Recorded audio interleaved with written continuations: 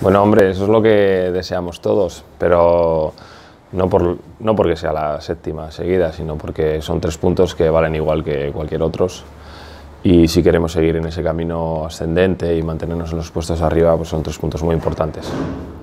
Bueno, el Real Unión, bueno, lo primero que tiene jugadores experimentados en la categoría, incluso cotizados eh, en la categoría, ha hecho una regeneración de 6-7 jugadores y sí que es cierto que ha cambiado un poco de cómo comenzó. Eh, se ha vuelto un, equipo un poco más conservador, tanto en casa como fuera de casa. Por lo menos los dos, tres, cuatro últimos partidos. Ha cambiado incluso de sistema, ha pasado a jugar con cinco defensas, en un 5-4-1, esperando más en campo rival, eh, queriendo llevar menos iniciativa que en los primeros partidos. Y bueno, pues eh, nosotros creemos que nos vamos a encontrar ese perfil de equipo y ese perfil de partido pero sí que es cierto que en anteriores jornadas, sobre todo al principio, optó por tener más protagonismo con balón, eh, llevar más iniciativa, entonces es capaz de hacer las dos cosas y veremos a ver lo que nos encontramos. Bueno, depende de días, yo creo que hay días que sí que hemos llevado la iniciativa eh, y hay días que hemos eh, tenido un papel más de transiciones, entonces bueno, vamos a ver qué nos ofrecen ellos, como siempre decimos, en cada partido hay muchas fases y veremos a ver lo que encontramos. Yo creo que lo inteligente es adaptarse en cada momento a lo que, a lo que surja y vamos a ver si lo podemos hacer y podemos sacar los puntos. En dos ocasiones has logrado seis victorias consecutivas. La opción de volver a hacer historia y con siete seguidas ser la mejor racha histórica de la Unión Deportiva Alboñez con un mismo entrenador, ¿eso a ti te supone algo especial? O? Bueno, primero que yo no soy el que las consigo, ¿eh? son los jugadores, yo creo que el mérito es, es, de ellos.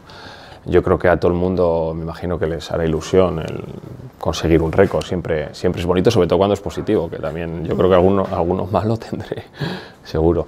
Eh, pero sí, yo creo que es un punto más de motivación, no creo que sea el principal, porque está claro que lo fundamental son los tres puntos y seguir manteniendo, manteniéndonos en los puestos de arriba, pero bueno, si eso puede ayudar es otro granito más para la motivación, pues bienvenido sea.